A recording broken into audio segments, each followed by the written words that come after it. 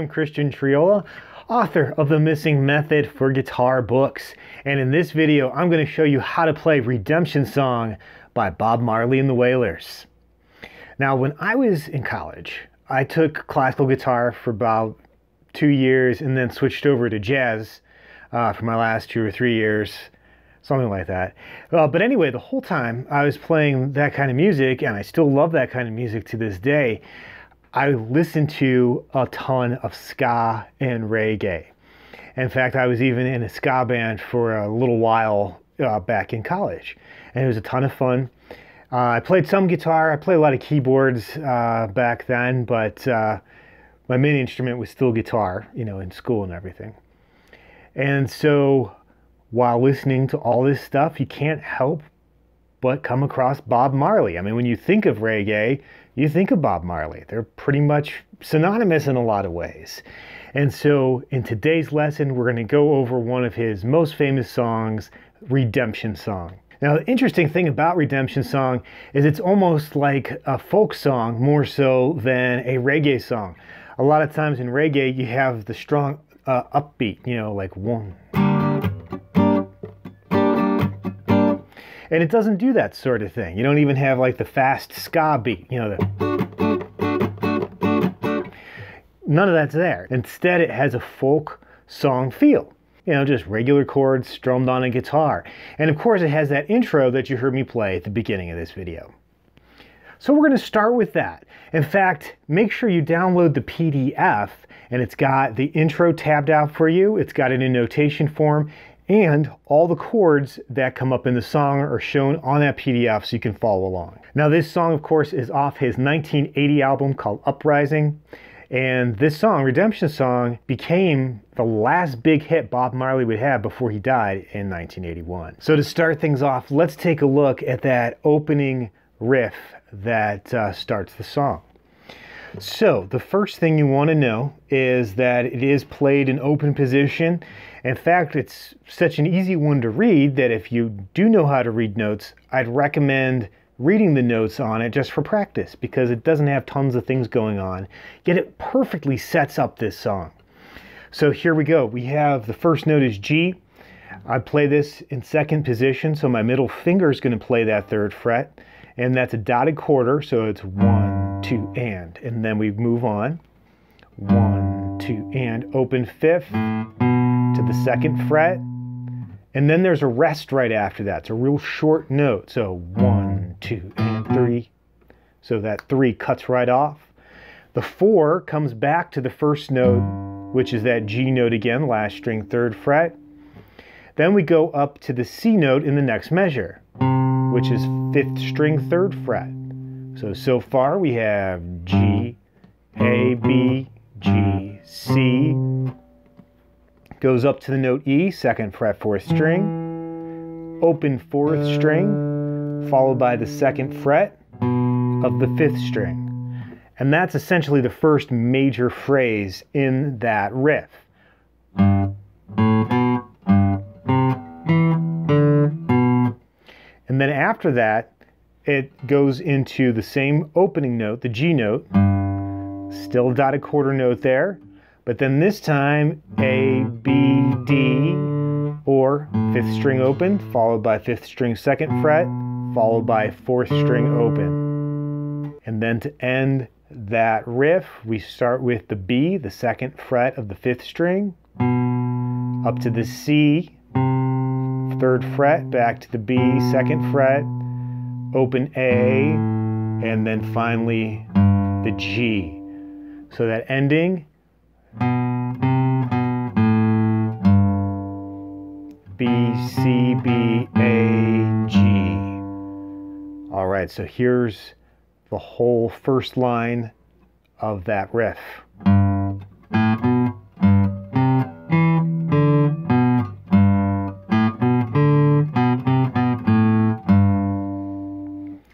That you can play that line, the second line is exactly the same. So you can do the whole opening part.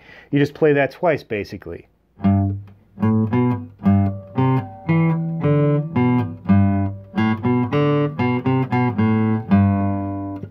And there you have it. That's the opening part to Redemption Song.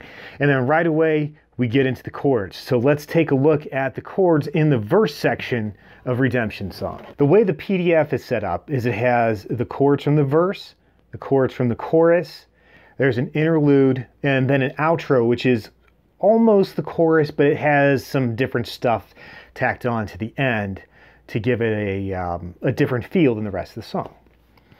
So what we're going to do is take a look at that first verse, and I'm also going to mention some of the changes that come up in the second and third verses that are mentioned in the PDF that aren't in the first verse. So first of all, our first chord is G major. So G major, he's playing it um, just the traditional way, the second string open, because uh, sometimes you can fret that second string third fret to get a G, but he's not doing it that way. It's just the regular open G chord. We have the third fret on the first string. Everything else is open until you get to the fifth string second fret, and then finally the third fret of the last string. And the strum pattern for that measure is down, down, up, up, down, up. So it's one, two, and hold, and four, and. One, two, and, and four, and. Then the next chord we go to is E minor. So we just move one finger over to the fourth string second fret, take the third finger off the first string, we have the E minor, and that one is a similar strum pattern, except there's more to it. So we have down, up, down, up, hold, up, down, up. Now you might notice on the hold, I still strum down, but I don't hit any of the strings. I miss the strings. That way I can come up on the next half of the beat and it keeps things flowing nicely. So again, second measure, down, up, down, up, miss, up, down, up. And there we have the E minor. So, so far, G, one, two, and, and, four, and, one, and, two, and, and, four, and. Next up, we have the C chord. Now, in the very first time through it, the C chord is played the whole way through this measure. And it's the same strum pattern as the first measure. One, two, and, and, four, and. The second time you play through the verse after you've gone through the chorus and everything, you have that C, but this time you play the individual C note on the fifth string, third fret. So it's bass note, strum, strum, or down, up, switch to a G slash B chord, which just means you have the second fret of the fifth string and the third fret of the first string covered. You don't play the last string. You play that second fret, fifth string by itself, and then strum the rest of the chord down up. So again, it's C, and then it moves into the next chord, which of course this same thing is done again in the next line. So we'll get to that whole idea in a minute. But the first time through, it's down, down, up, up, down, up, all on a C chord. Then we switch to A minor. So A minor, first string open, second string first fret, third string second fret, fourth string second fret, fifth string open. You don't play the last string. And here we go with A minor, one and two and, and four and. Or down, up, down, up, miss, up, down, up. So just like measure two, but with an A minor chord. All right, now once we get into the next line of music, basically that line is repeated a couple of times up until the very end of that section. So next thing we go back to the G chord, same thing as the beginning, down, down, up, up, down, up, then we switch to E minor, same as the beginning, down, up, down, up, up, down, up. And then we do what I was talking about a minute before. Have the C note by itself, which is the fifth string, third fret, strum down, up. Switch to a G slash B chord, just means that the second finger, of course, is the lowest note that you're playing there. So you play the B note, followed by down, up. And then in the next measure, you start it by playing the A, which is the fifth string open, followed by the A minor chord, which is then strummed down, up, up, down, up. So it's kind of like coming back to the strum pattern after that. So that whole section again, bass note, chord, bass note, chord, bass note, chord. so you get this really cool descending bass line that comes out of that.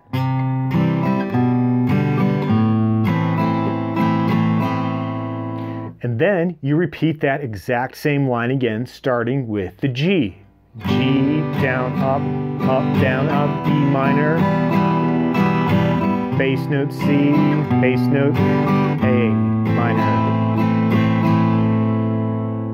Then the last line of the verse is almost the same except for the ending. So again, we start with the G, one, two, and, and, four, and E minor,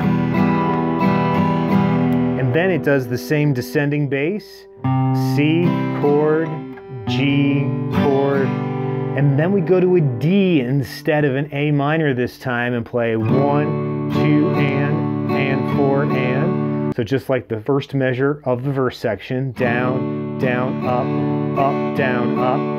And then the very last measure of the verse is the D chord, down, up, down, up, down, up, down, up. So if I went through any of that too quickly, feel free to rewind, watch that over and over again, pause just so you can get all those little details there. But now I'm going to play through the whole verse section. I'm going to play what essentially would be verse 1. All right, so here is verse 1. One, two, three, four.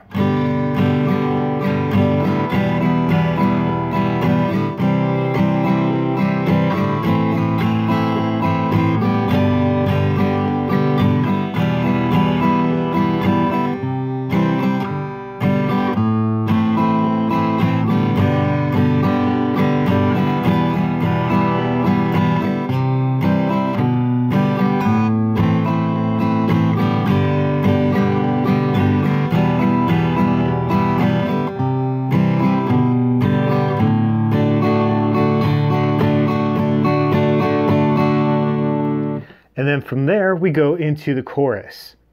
But before we start the chorus, I did want to talk about verses 2 and 3, which come up later in the song. Basically, we play the same thing you did for verse 1, with two small exceptions. One, I already talked about, where in the first line, instead of just playing the C chord all the way through that third measure, we play it like we do later on in the song. So we have bass, chord, bass, chord, bass. So that's one difference. So that's the first line of the verse. The other difference is in the second line, and in the second line only, instead of ending on A minor, we actually end on a D chord. So the second line of verses 2 and 3 actually sound like this. One,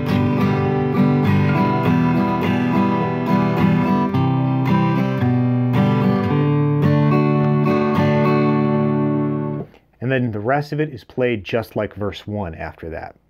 So if that's a lot to process, don't worry. The more you practice it, and if you listen to the song while you're practicing it, that'll make a lot more sense to you.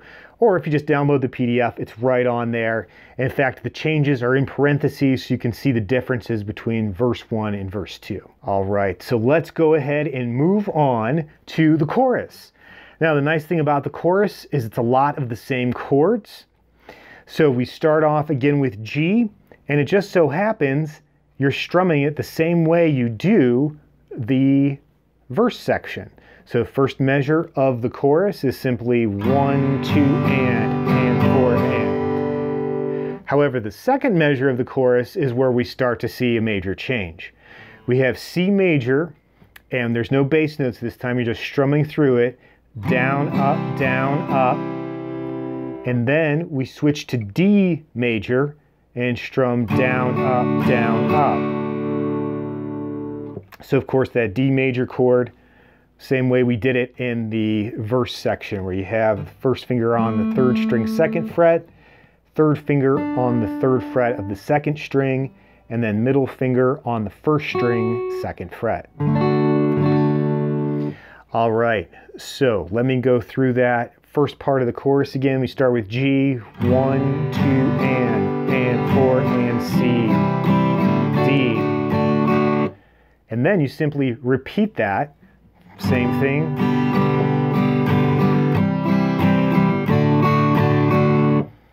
But the third time it changes to E minor before going to C and D. So here we have E minor, C, it goes back to G again. G, C,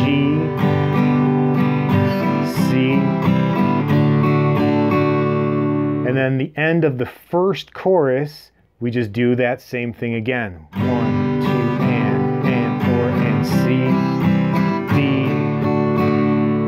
At that point, it goes back into the verse, this time verse 2. Now the second time you play the chorus, there is one difference, and that is at the end, there is simply an additional measure of G followed by C and D. And then after that, it goes into the interlude. So we have intro, first verse, first chorus, second verse, second chorus with the changes, and then finally we get to the interlude. So the interlude has a percussive strum that's included. And so the way you want to get that is with the picking hand. You'll have an E minor chord for this, and then when the percussive parts come up, you simply use the heel of your hand to touch the strings down here so you get a thud sound essentially, or percussive sound. But it's not percussed all the way through. Instead, you have E, then two percussive strums, another E minor, two percussive strums, another E minor, one percussive strum. So it's one, two, three, one, two, three, one, two. So you want to think every time you say one, you hit the chord and then nothing else, just percussive. One, two, three, one, three, one, two. Then you play the C chord, down, up, down, up, D chord, down, up, down, up. And then you do that same thing three more times. So you have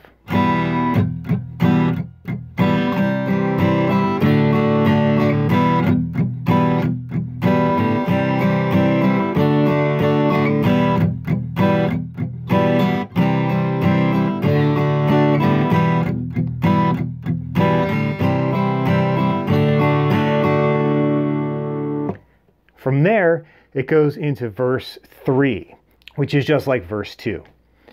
And then it goes into a chorus that then takes you to a coda. So in the chorus, it's marked in the paper where it says go to coda the last time. So you don't play the last part of the chorus, which is the last two measures of G,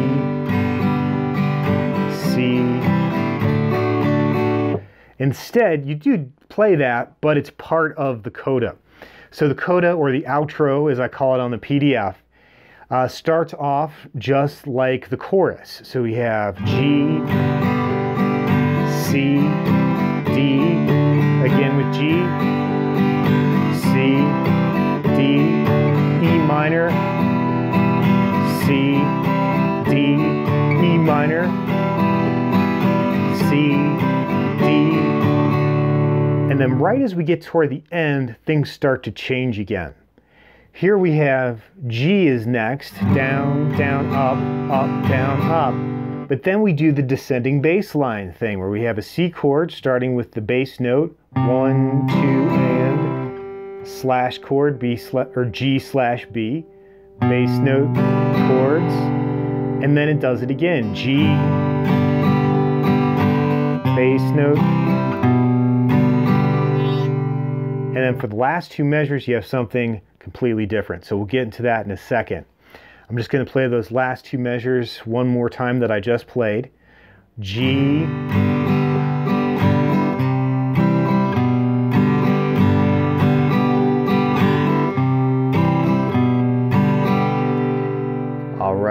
now for the final four measures of the song.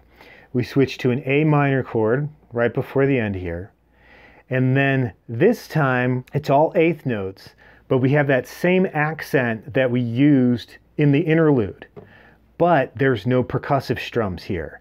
Instead, you just accent every time you say one. So you'd have one, two, three, one, two, three, one, two, three, one, two. One, two, three, one,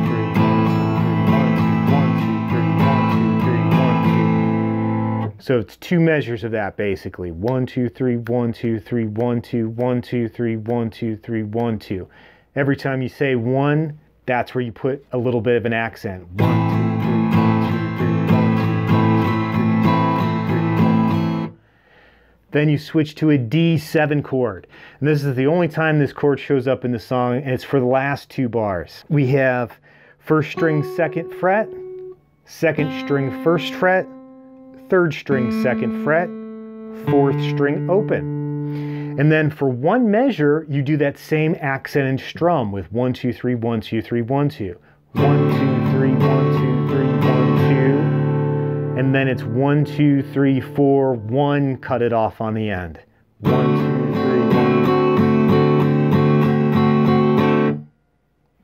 And that's the end of the song. It ends in a very peculiar way because you're on a dominant seventh chord and you want to hear a nice resolution there, a G on the end, but he doesn't do that. He kind of just cuts it off, giving it this kind of cool effect on the end. It still works as an ending, even though it is a dominant seventh chord. All right, so hopefully you got a chance to catch all that. I'm gonna go through the entire outro that's on the PDF. So here we go, starting with the G chord. One, two, three, four.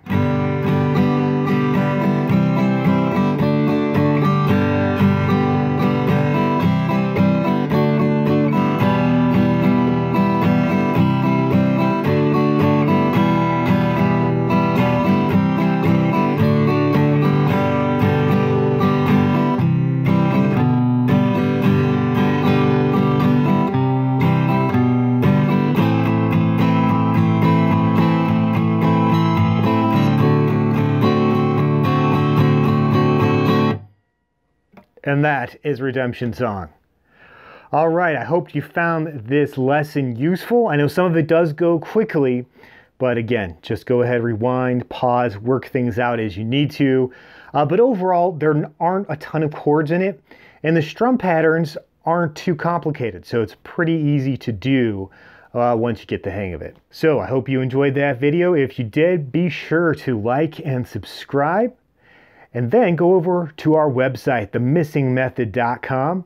There you'll find out about a bunch of books that will teach you more about chords, including Guitar Chord Master, which goes through the basics. There's Guitar Chord Master 2, which shows you how to use a capo as well as play more complicated harmonies. And then Guitar Chord Master 3 is all about power chords and rock chords. So you'll get a good sense of all the different types of power chords that you can play. All right, and while you're there on the website, don't forget that if you sign up for the newsletter, you'll get a free ebook as well. So I hope you enjoyed that video. So get to practicing and I will see you in the next video.